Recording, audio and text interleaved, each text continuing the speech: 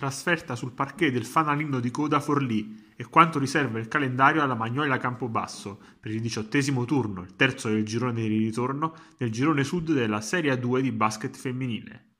Al di là però dei 30 punti di differenza in classifica, il coach delle rossoblù Mimmo Sabatelli è pronto a tenere le sue sulla corda. Noi dobbiamo pensare a noi, a ogni partita e non all'avversario che, che, abbiamo di fronte. Sicuramente la classifica ci dice che c'è differenza tra noi e loro, questo lo sappiamo, è innegabile, però noi dobbiamo tra virgolette sfruttare queste partite per cercare di migliorare eh, quei cali di tensione che abbiamo durante i match, quindi queste sono le partite che ci permettono anche non solo sotto l'aspetto tecnico ma soprattutto sotto quello quello mentale di fare dei miglioramenti dove abbiamo ancora dei piccoli problemi. Felice peraltro per quello che è stato l'ulteriore innesto in fase di mercato. Abbiamo preso una giocatrice importante, innegabile, una giocatrice che non scopriamo noi, quindi siamo contentissimi eh, di averla portata qui a Campobasso, siamo felicissimi dell'entusiasmo che lei ha avuto nell'accettare la nostra proposta e nel, nel, venire qui. Una ragazza sicuramente che si è messa subito a disposizione della squadra, del gruppo,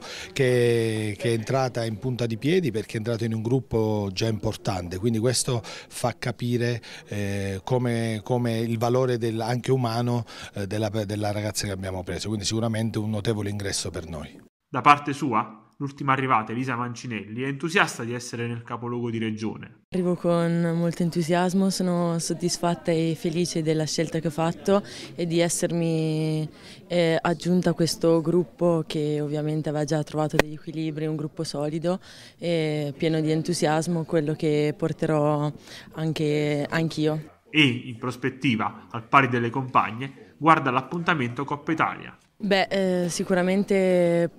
cercando di fare il meglio nelle nostre possibilità e non parlo per scaramanzia, però tutti sappiamo quale sarebbe il sogno e l'obiettivo.